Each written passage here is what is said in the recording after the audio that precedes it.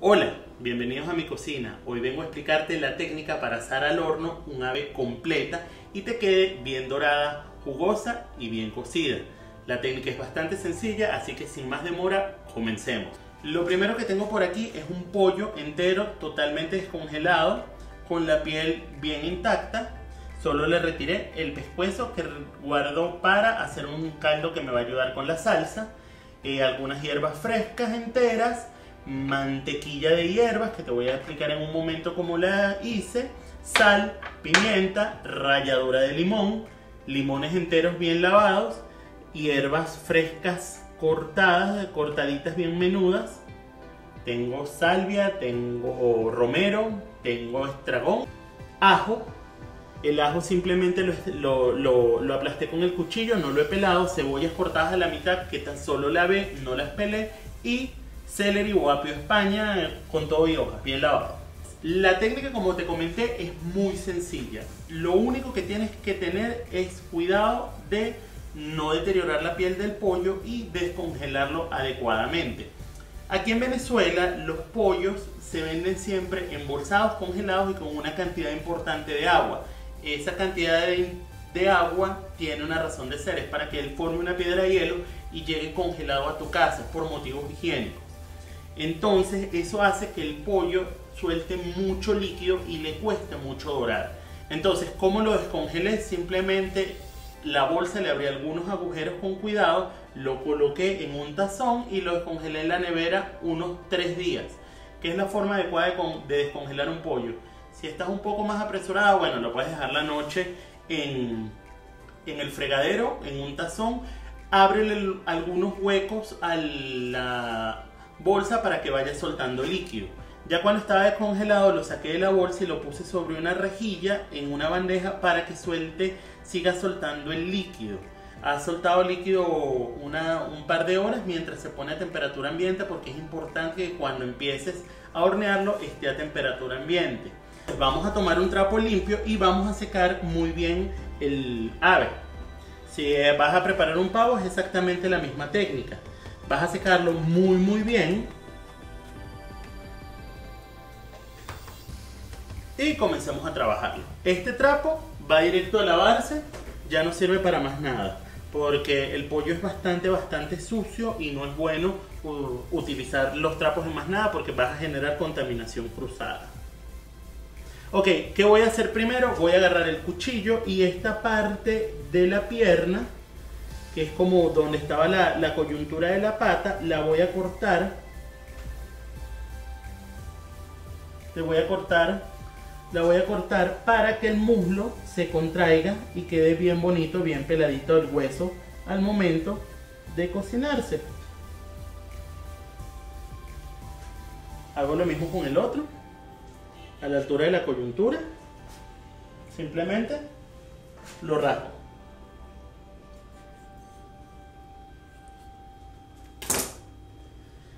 Después Vamos a separar la piel de la pechuga con mucha delicadeza. Hay que tener cuidado de no romperla. Vas a comenzar con los dedos y de ser necesario te vas a ayudar con el cuchillo. Por lo menos aquí ya puedo despegar fácilmente. Solo, me solo está unida en el centro. Como el pollo está a temperatura ambiente es mucho más fácil hacerlo que si el pollo está frío. Por eso es importante Fíjate que ya puedo pasar mis dedos por debajo. Solo está unido por el centro y voy a ir con cuidado con la punta del cuchillo rompiendo la membrana para que se separe.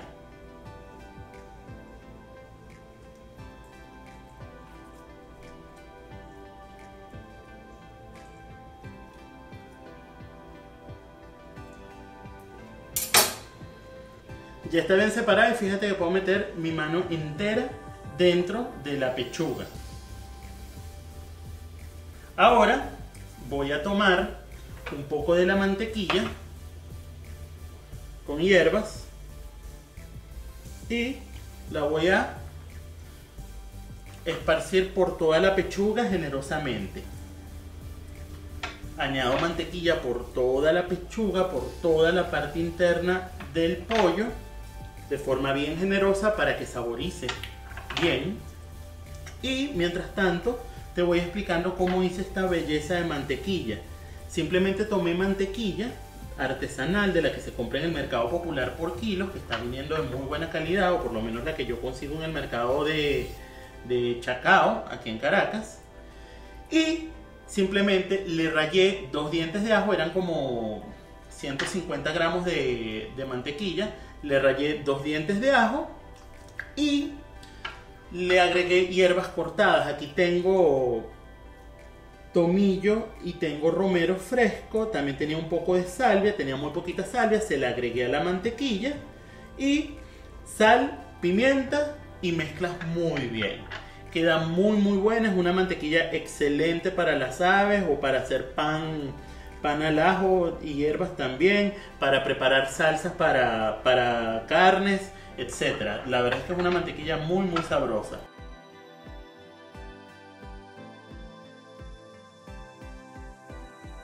Ya está bien rellenado, me voy a limpiar las manos y regreso.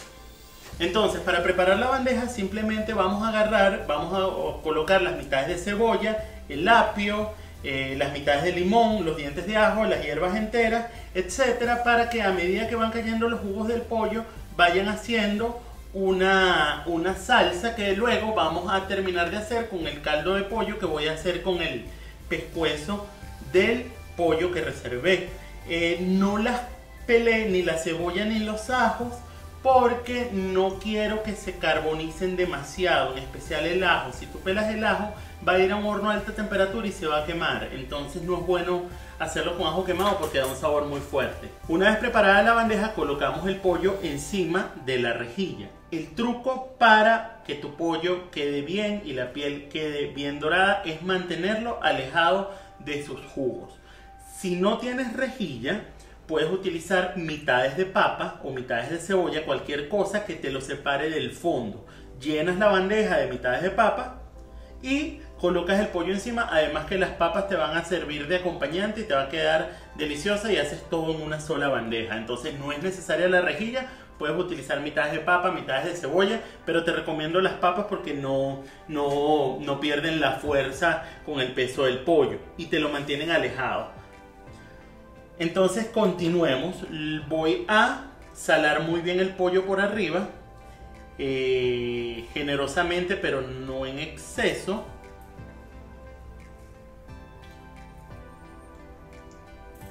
Hay quien acostumbra a eh, restregar la mantequilla por arriba, también es válido, aunque yo considero que no es necesario. Vamos a colocarle la ralladura de limón también, suficiente por todos lados.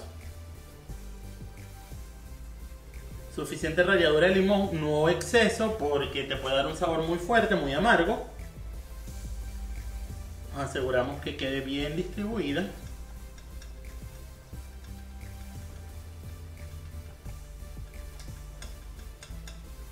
Le colocamos más hierbas frescas que tengo aquí cortaditas para que saboricen todo el pollo por fuera. Y pimienta. Pimienta negra recién molida generosamente.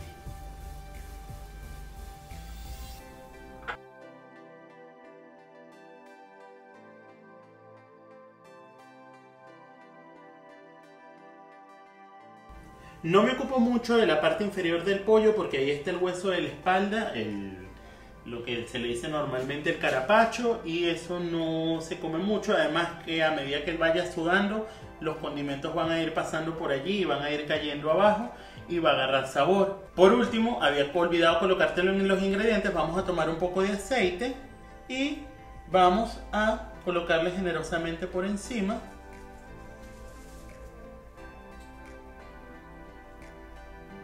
Y así lo vamos a ayudar a dorar un poco. Asegúrate que el aceite quede bien distribuido. Vamos a presionar un poco las hierbas. Va a quedar buenísimo con el sabor de la, mantequilla de hierbas, con las hierbas frescas por encima, el limón, etc. Hay quien gusta rellenar la cavidad del pollo del ave eh, con trozos de la naranja, de limón, etc ajo dicen que agrega sabor yo particularmente no le siento no siento que añade mucho Hoy no tengo pabilo, así que agarré hilo de coser y fui haciendo un segmento largo con muchas vueltas de hilo hasta que quede grueso. Lo amarré, le hice unos nudos, lo amarré y lo voy a utilizar en sustitución del pabilo. Entonces vamos a amarrar las patas para que queden bien cerradas encima de la, de la cavidad. Entonces, lo primero que vamos a hacer es, vamos a pasarlo alrededor del corte que hice, amarro la otra pata.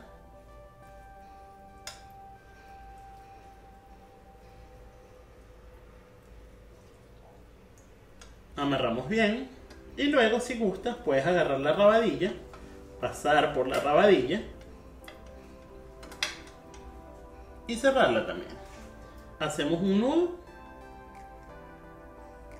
y ya quedó bien cerrada. Y una vez amarrado atrás, agarras las puntas de las alas y las escondes debajo de la pechuga. Las escondes debajo de la pechuga para que no se quemen.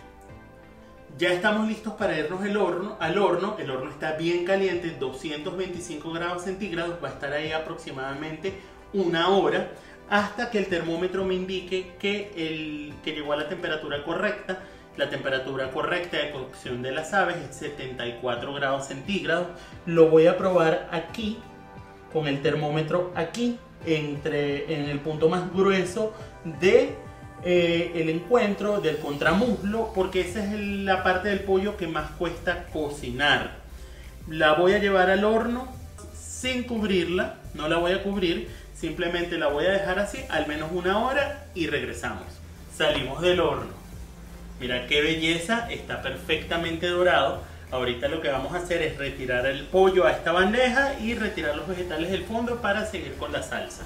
Tardó aproximadamente una hora y media en llegar a su temperatura interna. Por aquí metí el termómetro, 74 grados centígrados. Puedes dorar un poco más si gustas, pero corres el riesgo de que se reseque. Si no tienes termómetro, lo que vas a hacer es con el cuchillo le vas a hacer una pequeña incisión por aquí, por la parte baja del contramuslo y tienes que ver los jugos. Si los jugos te salen transparentes, está listo. Si te siguen saliendo rosados, no está listo. Si ya no te salen jugos, significa que pasaste el pollo. Entonces te, recomiendo que a partir de una hora o una hora y cuarto lo vayas probando. Otra cosa es que si tu horno cocina disparejo, eh, más o menos a la mitad del tiempo simplemente dale la vuelta al pollo y no hay problema, se te va a hacer perfecto. Entonces vamos con la preparación de la salsa. Con el pescuezo que teníamos del pollo hice un caldo, un fondo realmente. Lo puse a hervir con unos vegetales, le agregué media cebolla, le agregué un trozo de pimentón, un poco de celery y lo dejé hervir sin sal y sin nada. Le voy a agregar una cucharada para desglasar con la ayuda de la espátula la metálica que tengo aquí, voy a raspar esto. Esto se llama deglasar.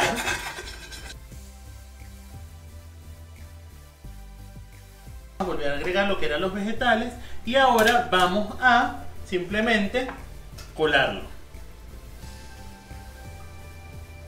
Esto nos va a hacer una salsa súper, súper sabrosa.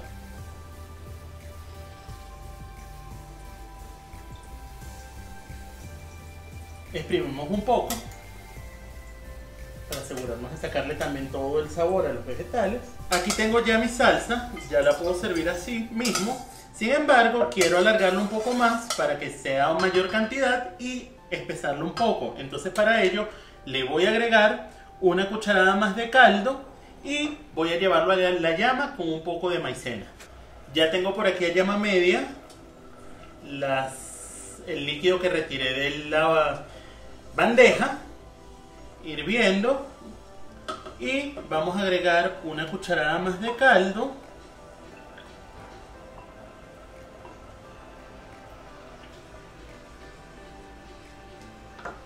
Un poco de sal. Recuerda que el caldo no tiene nada de sal, así que le, hace falta. Y un poco de pimienta.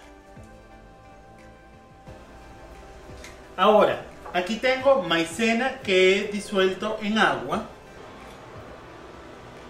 Y esperar a que hierva para que espese. En este momento puedes agregar vino, puedes agregar jugo de limón, puedes agregar muchas cosas que le van a dar sabor interesante. Finalmente aquí lo tenemos, pollo al horno perfectamente cocido, perfectamente dorado, jugoso, con su propia salsa. Espero que te animes a prepararlo. Muchísimas gracias por permitirme llevarte lo mejor de nuestra mesa, lo mejor de nuestro arte.